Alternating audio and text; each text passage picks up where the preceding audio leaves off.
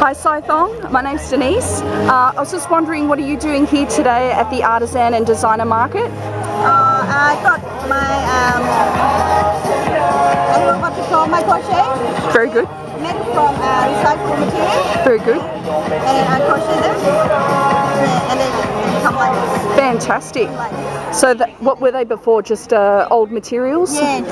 Very good. Your work here is beautiful, I have to say. Thank you. And um, will you be switching off the lights for Earth Hour tonight? Yeah. Very good, very good. Well, welcome. Um, I hope you come again um, and have a happy Earth Hour. Thank you. Thank you.